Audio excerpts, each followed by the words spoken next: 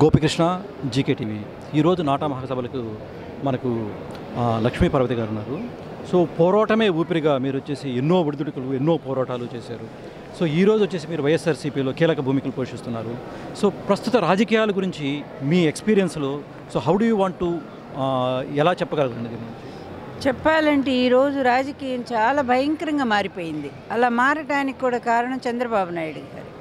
ఎందుకంటే ఎన్టీఆర్ గారు ninety four ఎలక్షన్స్లో మరి తెలుగుదేశం పార్టీ తరపు నిలబడ్డటువంటి క్యాండిడేట్స్కి one and half lakh two lakhs maximum ఇంక త్రీ ల్యాక్స్ అది కూడా ఎస్సీ ఎస్టీ బీసీ అంటే అణగారిన వర్గాలు ఎవరైతే పేదవాళ్ళు ఉన్నారో ఆ వర్గాలకు పార్టీ అంత డబ్బు అంటే ఆ రోజున్న ఎలక్షన్ కమిషన్ రూల్ ప్రకారంగా ఎంత అవసరమో అంతే ఇవ్వటం జరిగింది.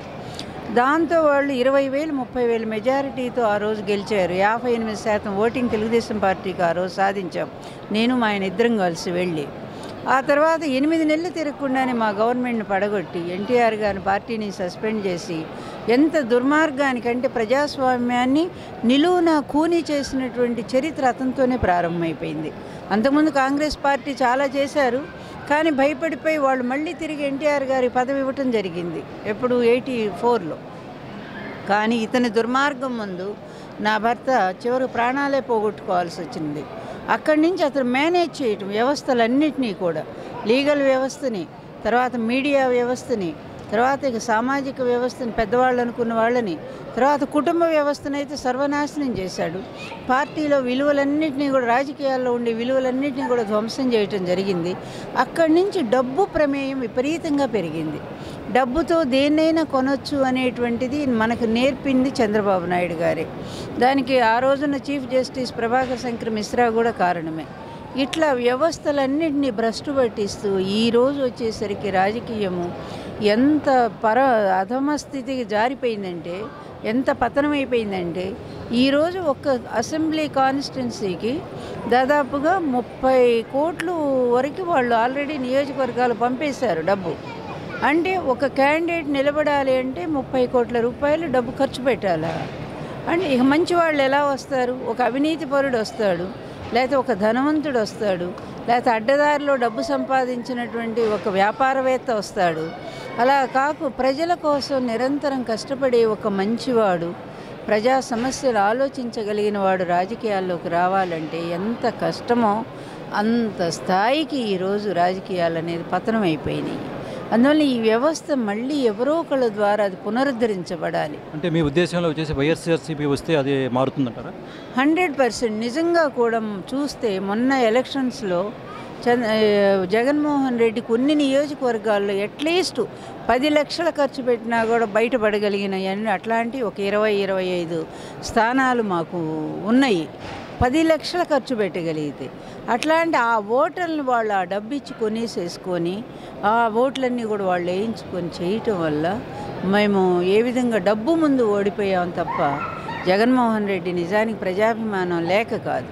దానికి తోడు అందరినీ కలుపుకున్నాడు మోడీని ఇటు పవన్ కళ్యాణ్ని తర్వాత ఇంకా ఇట్లా ఆరు వందల హామీలు ప్రజలను మోసం చేసే మేనిఫెస్టోలు ఇన్ని రకాలుగా ప్రజలను వంచన చేస్తే అది కూడా నాలుగు లక్షల డెబ్భై ఆరు వేల ఓట్లు మాత్రం తేడాతో మేము ఓడిపోయాం తప్ప.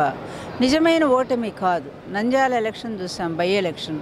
రెండు వందల యాభై కోట్ల రూపాయలు గవర్నమెంట్ ఒక్క బై ఎలక్షన్ కోసం వాళ్ళ ప్రెస్టేజ్ కోసం అంత ఖర్చు పెట్టారంటే ఎంతగా ప్రజాస్వామ్యాన్ని వంచన చేస్తూ ఉన్నాడో చంద్రబాబు నాయుడు అనేది ఇది ప్రజలు కూడా తెలుసుకోవాల్సినటువంటి అవసరం ఉంది. సో ప్రజలు తెలుసుకోవాలనే పాయింట్ అంటే ఇప్పుడు ఈ వ్యవస్థని మార్చేదానికి మీరు ఏ విధంగా ప్రణాళికలు ఎలా దాన్ని జనాల్లోకి తీసుకెళ్తున్నారు? ఈరోజు జగన్మోహన్ రెడ్డి గారు చాలా స్పష్టంగా లాస్ట్ టైం కూడా మేనిఫెస్టోలో ఆయన రైతు రుణమాఫీ పెట్టల. ఎందుకంటే రైతు రుణమాఫీ చేయాలి అంటే చంద్రబాబు నాయుడు గారి ప్రకారంగా ఎనభై ఏడు వేల కోట్ల రూపాయలు రుణమాఫీ జరగాల్సి ఉంది. కానీ అది సకాలంలో జరగపోయినందువల్ల మరొక పద్నాలుగు వేల కోట్ల రూపాయలు వడ్డీ పెరిగింది బ్యాంకులకి. అంటే లక్ష కోట్లు దాటిపోయింది. అంటే చిన్న రాష్ట్రము ఒక్క నూట డెబ్బై ఐదు నియోజకవర్గాలు ఉన్నటువంటి రాష్ట్రం ఆంధ్రప్రదేశ్. ఈ నూట డెబ్బై ఐదు నియోజకవర్గాలు ఉన్న ఆంధ్రప్రదేశ్ బడ్జెట్టే లక్ష ఇరవై వేల కోట్లు ఆ రోజు ఆయన ప్రకటించిన ప్రకారంగా. ఆ విధంగా చూస్తే రాష్ట్ర బడ్జెట్ ఎంతో అంత డబ్బు రైతులకు రుణమాఫీ చేయాలి. కానీ చేశారా? కేవలం పదమూడు వేల కోట్లు మాత్రమే చేసి చేయి దులుపుకున్నాడు. అంటే ఎంత వంచన జరిగింది? ఇట్లాంటి వంచన ఇతర దేశాల్లో జరిగితే నిజంగా కూడా వాళ్ళు ఉరిదీస్తారు కానీ మన చట్టాలు ఎంత దారుణంగా ఉన్నాయో మన ఎలక్షన్ కమిషన్ ఎంత దారుణంగా ఉందో ఇన్ని వేల కోట్ల రూపాయలు ఎలా ఖర్చు పెడుతున్నారనే ఆలోచన కూడా లేని పరిస్థితుల్లో వ్యవస్థలన్నీ కూడా సర్వనాశనమైనటువంటి పరిస్థితి కనిపిస్తూ ఉంది. అంటే వ్యవస్థ అన్నప్పుడు ఈరోజు తెలుగుదేశం గవర్నమెంట్లో స్త్రీకి ఎలాంటి రక్షణ ఉంది? సో ఫ్యూచర్లో ఎలా చేంజ్ అవుతుందంటారు? తెలుగుదేశం పార్టీ చంద్రబాబు నాయుడు నాయకత్వంలో తెలుగుదేశం పార్టీ మొదటిగా నన్ను టార్గెట్ చేసి నేను స్త్రీనే కదా నన్ను టార్గెట్ చేసి స్వయాన అత్తని మరి ఎన్టీఆర్ గారి ఇష్టంతో పెళ్ళి చేసుకున్నటువంటి ఆమె నేను. అట్లాంటి ఆమెకి ఎంత గౌరవం ఇచ్చారో మీరందరూ కూడా చూశారు. ఎన్ని రకాల అవమానాలు చేయాలో అన్ని అవమానాలు చేశారు. వాళ్ళు చేసిన పాపాలన్నిటికీ నన్ను మూలం అన్నారు నన్ను బూచిగా చూపించారు.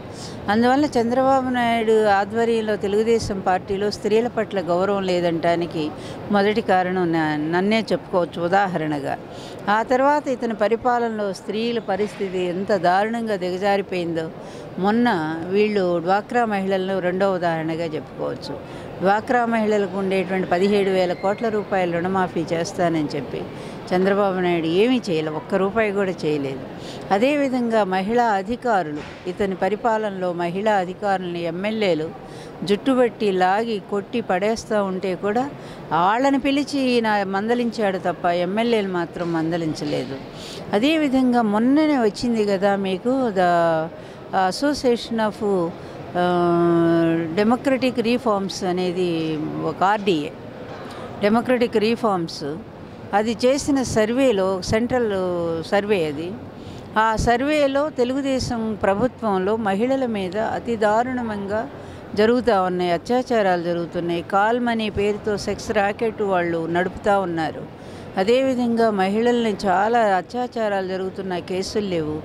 తర్వాత ముఖ్యంగా అతని ప్రభుత్వంలో ఇద్దరు మినిస్టర్లే ఈ దారుణాలకు పాల్పడుతూ ఉన్నారు. ఐదుగురు ఎమ్మెల్యేలు పూర్తి నేర చరిత్ర కలిగిన వాళ్ళు ఉన్నారు. మహిళల మీద దాడుల్లో వాళ్ళది ప్రధాన పాత్ర ఉంది అని ఇంత స్పష్టమైన రిమో రిపోర్ట్ వచ్చినా కూడా ఎక్కడైనా చర్యలు ఉన్నాయా చెప్పండి. మీలాంటి పెద్ద పెద్ద జర్నలిస్టులు సీనియర్ మోస్ట్ జర్నలిస్టులు జర్నలిజం అంటేనే నిజాలను నిర్భయంగా చెప్పేటువంటిది కదా. అలాంటి జర్నలిజం ఈరోజు ఏపీలో ఉందంటారా? మీరు ఒక్కసారి ఆలోచించండి. ఏపీలో ఈరోజు ఐదో ఆరో ఒక సామాజిక వర్గానికి సంబంధించినటువంటి ఈ ఎలక్ట్రానిక్ మీడియా అదేవిధంగా పేపర్లు ఎంత దారుణంగా అతన్ని పొగుడుతూ అతని కొడుకును పొగుడుతూ బ్రతుకుతూ ఉన్నారంటే నిజాలు సామాన్యుడికి ఎలా అర్థమవుతాయండి? అంటే మీరు చెప్పేది అంటే మీడియా వ్యవస్థలో మార్పు రావాలి. అప్పుడు కానీ ప్రజలకి ఇప్పుడు మీరు చెప్పే విషయాలు ప్రజలకి చేరవేసే దానిలో ప్రాబ్లం ఉంది. లేదు లేదు. మీడియా వ్యవస్థలో మార్పు రావటం కాదు. ఈ మీడియాలో ఏమైనా తెలివి తక్కువ అంటారా? అతి మేధావులు ఉన్నారు ఆ మీడియాలో. ఏ టీవీ చూసుకోండి ఏ పేపర్ చూడండి అత్యంత మేధావులు. ఈ సమాజాన్ని శాసించగలిగిన మేధావులు పత్రికలు పెట్టి అదేవిధంగా ఈ ఛానల్స్ పెట్టి వాళ్ళు ఏం చేస్తున్నారు? చివరికి చ- చంద్రబాబు నాయుడికి అమ్ముడు పోతూ ఉన్నారు. ఈ అమ్ముడు పోయిన విధానం వల్ల సామాన్యుడికి న్యాయం జరగట్ల. ముప్పై ఆరు వే ముప్పై మూడు వేల కోట్ల సారీ ముప్పై మూడు వేల ఎకరాలు నాకు రైతులు ఇచ్చారని ఇతను చెప్తే అదే నిజమని వార్త వాళ్ళు రాస్తారు. వాళ్ళకి తెలుసు అది నిజం కాదనేది. ఎస్ఐన్ ల్యాండ్స్ కూడా మీ మంత్రులు కొట్టేస్తున్నారంటే ఆ వార్త బయటికి రాదు.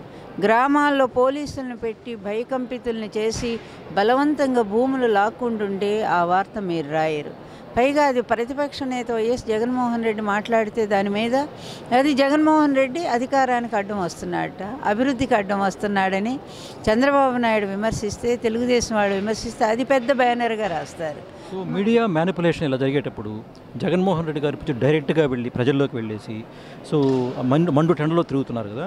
సో దానివల్ల ప్రజలకి ఏమైనా లైక్ నిజాలు తెలిసే అవకాశాలు ఉన్నాయా? అదే ఇప్పుడు మాకు ఉపయోగంగా ఉంది. చెప్పాలంటే అసెంబ్లీలో మైక్ ఇవ్వలేదు మా నాయకుడికి. ప్రజా సమస్యల మీద మాట్లాడబోతే వ్యక్తిగతంగా వాళ్ళు విమర్శలకు దిగారు. దారుణంగా వంచం చేశారు. మా పార్టీ నుంచి డబ్బు పెట్టి కొనుక్కున్న ఎమ్మెల్యేలకి మినిస్టర్ని చేసి వాళ్ళ ద్వారా మళ్ళీ మాకు సమాధానం చెప్పిస్తానంటే అది ఎట్లా సమంజసం అవుతుంది? ఈ ఫిరాయింపు నిరోధక చట్టాన్ని పూర్తిగా నీరుగార్చిన చంద్రబాబు నాయుడు మా పార్టీ వాళ్ళనే మీ మినిస్టర్ని చేసి వాళ్ళతో మా జగన్మోహన్ రెడ్డిని తిట్టిస్తూ ఉంటే అట్లాంటి అసెంబ్లీలో మా నాయకుడు ఉండాలా? అందుకే పౌరుషం ఉన్నవాడు కనుకనే బయటకు వచ్చాడు. అందుకనే ప్రజాస్వామ్య విలువలు చేసిన వ్యక్తిగా పూర్తిగా జనంలోకి పోయి ఈ అసెంబ్లీలో మాట్లాడే మీరు టైం ఇవ్వకపోతే మొత్తం జనానికే నేను చెప్పుకుంటానని చెప్పి ఆయన పాదయాత్ర ద్వారా ఈరోజు ప్రజల్లోకి వెళ్ళి ప్రజలకి చెప్తున్నాడు వాస్తవాలు ఏంటనేది ఎన్నో సంవత్సరాలుగా మీరు అలుపరిగిన పోరాటం చేస్తున్నారు. So next before the elections me actions ఎలా ఉంటాయి? సో మీరు ప్రజల్లోకి వెళ్తున్నారా? సో ఎలాంటి చర్యలు చేసుకుంటారు? Hundred percent. నేను ఇరవై రెండు సంవత్సరాల పోరాటం నాది వాళ్ళు పెరిగిన పోరాటం ఇది. నా భర్తకు జరిగిన అన్యాయం మీద ప్రజాస్వామ్య విలువలను సమాజ్ చేసిన విధానం మీద ఈ చంద్రబాబు నాయుడుతో పోరాడుతూ నేను ఇరవై రెండు సంవత్సరాలుగా నా పార్టీలో నేను ఉన్నాను కానీ నా పార్టీ కూడా మొన్న రద్దయిపోయింది. అందువల్ల నేను జగన్మోహన్ రెడ్డి ఈరోజు కూడా అబ్బాయి ఈ విలువల కోసం రాజకీయ విలువల కోసం అతను కష్టపడుతాడు అతను పోరాటం చేస్తున్నాడు ఒక్కడిని చేసి వాళ్ళ అందరూ కూడా అతను ఎన్ని రకాలు అన్నిట్లా అవమానం చేశారు అదేవిధంగా జగన్మోహన్ రెడ్డిని కూడా అదేవిధంగా అవమానం చేస్తూ ఉన్నారు. అందుకే నేనుగా వెళ్ళి ఆ పార్టీలో నేను చేరటం జరిగింది. ఆ బాబుకి సపోర్టుగా నిలబడదాం ఒక తల్లిలాగా నేను నిలబడ్డాను. అతను ప్రతి ఎలక్షన్ ప్రచారం చేస్తూ ఉన్నాను నేనేమీ ఆశించలేదు ఈ పార్టీ నుంచి. రేపు కూడా నేనేమి ఆశించట్లేదు. ఆ అబ్బాయి సీఎం అయితే చాలు. ముందు ఈ దుర్మార్గుడి పరిపాలన అంతం కావాలి. అదొక్క ఆశయంతోనే నేను పనిచేస్తూ ఉన్నాను. థ్యాంక్ యూ వెరీ మచ్ అండి. స్త్రీకి మీరిచ్చే స్ఫూర్తి ఏంటి? మీరిచ్చే సందేశం ఏంటి? ఒక్కటే చాలామంది స్త్రీలు నన్ను చూసి ఈరోజు ఇన్స్పైర్ అవుతూ ఉన్నారు. ఒక్కడిగా ఉండి ఇన్ని కష్టాలు ఇంత పెద్ద అధికారాన్ని ఎదిరించి మీరు నిలబడ్డారు. ఆ ధైర్యం మీరు ఇచ్చేటువంటి ఆ ధైర్యం మేము కూడా తీసుకుంటున్నామని చాలామంది మాట్లాడుతున్నారు.